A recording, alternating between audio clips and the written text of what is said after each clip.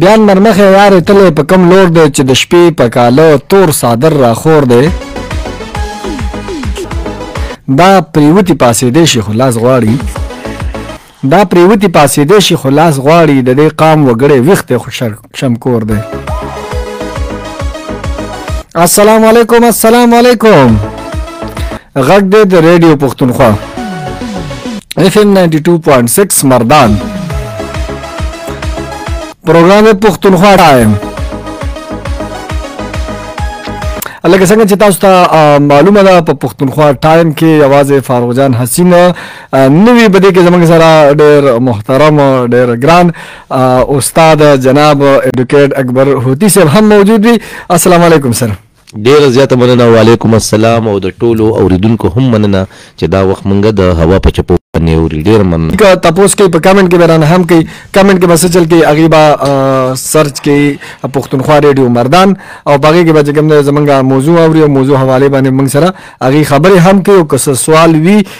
د جناب اکبر هوتی صاحب نو هغه به هم را سره کې دین علاوه که کم کسان موږ سره په ټلیفون په لیکه باندې راتلل غواړي نو هغه به هم 0937 920 611 باندې رابطه کوي 0937 920 611 باندې ان شاء الله نور کله په شانته کوشش کو چې یو ټاپک باندې خبرو وکړو ملګری هم را روان دي په ټلیفون باندې هم را روان دي کمنټس کې چې کوم دی خپل رائے خپل مینه لګیا دی هغه شاملې مطلب نن چې کوم تیر منګه خبره کړې و په وومن رائټ باندې د خزو په حقوق باندې نو نن زما چې نن منګه د کوم سپیشل پرسن چې دی معذور افراد چې ورته منګوایو پاغي باندې خبرو وکړو ټاپک په حواله دا خو ډیر زیات ښه ټاپک دی ځکه چې دا سپیشل پرسن او دا معذور پرسن دام تقریبا د یو قانون سازي په تور باندې دا نمونه ماخلې ځکه چې اغي منګه د ځان نبیل نه ګنو دا مونږ سره زمون خلق دی جی جی او دا احساس مغیل نه دی ورکول پکار چې یاره ته معذور یې ته یا په لاس کندم یا په خپې کندم یا په سترګا یا په نو دا نه دی ورکول پکار په دې باندې د پاکستان قومي اسمبلې په شپاړسم ستمبر دوه زره شل جی یعنی د نن نه دوه کاله مخکې جی جی سره پاسه یو قانون جوړ کو چې هغه قانون نوم دی رائټ اف پرسنز وذ ډیسبیلیټیز ایکټ 2020 جی جی چې پاغه کې باقاعده د دې د حقونو د دې د چې کوم دي ته د پکار دي چې هغه نو داغي باقاعده قانون سازي وکړه او پوره بل پاس کو بالکل سر او دا بل چې پاس دا هم د دغه اوامر په بنیاد باندې پاس شو چې دی تر ډیر زیات ایشوز راتلل دی ته په سرکاري ادارو کې په غیر سرکاري ادارو کې په کورونو کې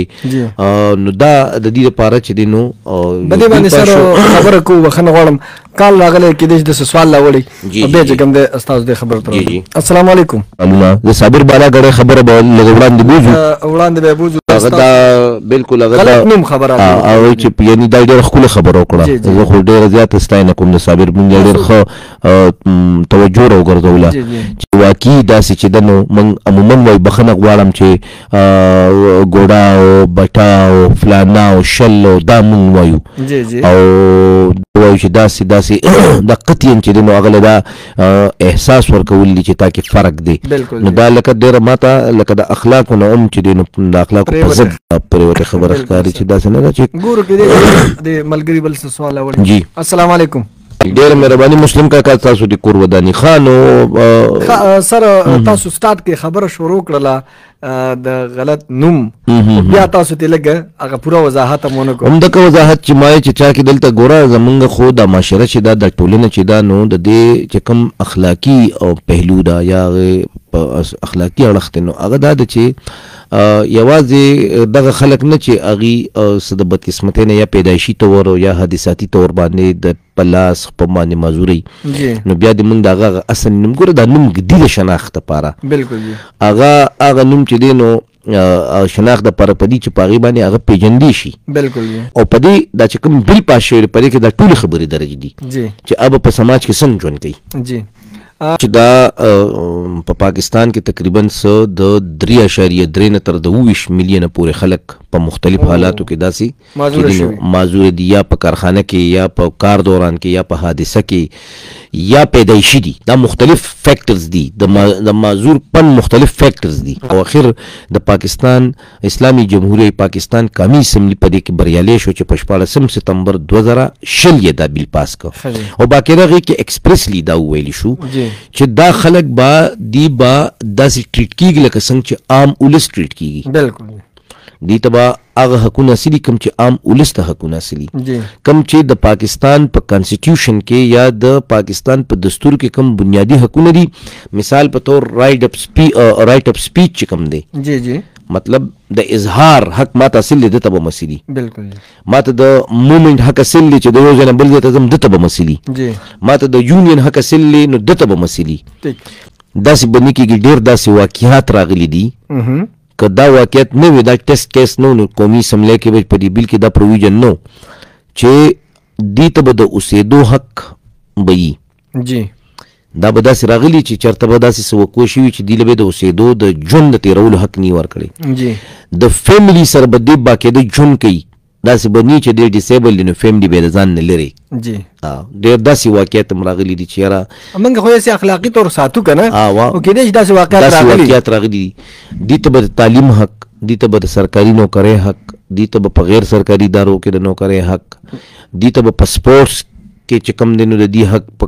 دې ته په کلچر کې د دې چې کوم حق د د اظهار د ذریعه حق د ټول به دغه قانون د لاندې د تحصیل او کو د دې مثال په تور د رائټس وایلیشن کیږي د دې پر به عدالتي باقی ده عدالت به کانسټیټیوټ کیږي د دې بخپل کونسلي په هغه کونسل کې به د دې په مسلو باندې غور او فکر کیږي باقی د دې کې یو ذکر د قانون مطابق د دې قانون وایلیشن کیږي خلاف ورزي کیږي باقی د دې به هغه کورټ ته ځي په 2020 کې دا قانون پاس شوی دی اوس به په دې کې خامخا د دې چې کوم کوټس دي هغه به جوړیږي لو کو زه په تراب صاحب خبرې کوم ښا ها دا سوال لګ دغه کم اصل کې خو دا نن چې زمون کم پروګرام نه دا خو د چې کم دغه خلک دي چې غي معذوري دغه د حکومت په حواله باندې دي دغه اکټ باندې ولې تراب صاحب چې کم خبرو کړ په دې باندې زمون خصوصي پروګرام کوو دا ډېر اهم موضوع او تراب صاحب چړلا په دې باندې انډسټریل ریلیشن ایکټ یو شته چې په کارخانو کې کم خلک په سنتي ادارو کې کم خلک معذور شي د چا لاس پرې شي د چا خپل غشي باکې ده هغه ته موږ کمپنسیشن وایو جی جی یعنی دا غي د درسي نو هغه د درسي چې کوم ده نو هغه د پر باکې ده چې دین خپل قانون دی دا هغه قانون د لاندې به دا غي باکې ده هغه ترډیپ ملاويږي هغه لبا دادرسي ورکړي کیږي. زما سوال دا دی چې یاره ځینې کسان داسې چا معذور دی او معذور کارت نه سازي دا معذور کارت د لپاره څه فایده ورکولی شي دا ګوره دا داسې دا په یو سړی د خپل وطن سره د خپل قوم سره د خپل ملک سره هغه په صحیح مانو کې هغه لوی لی جی هغه مين لري هغه وی چې زری نو په کار دار چې مونږ په هیڅ یو مت کې ریختیا پټ نکړو جی جی چې څه حقیقتونه دي چې مونږ پټ نکړو ځکه چې مونږ حقیقتونه خپل ریاست خپل حکومت تخکار کړو دا غي په بنیاد باغی مونږ لا بیا په اغه لیول باندې مونږ لا اقدامات کوي جی جی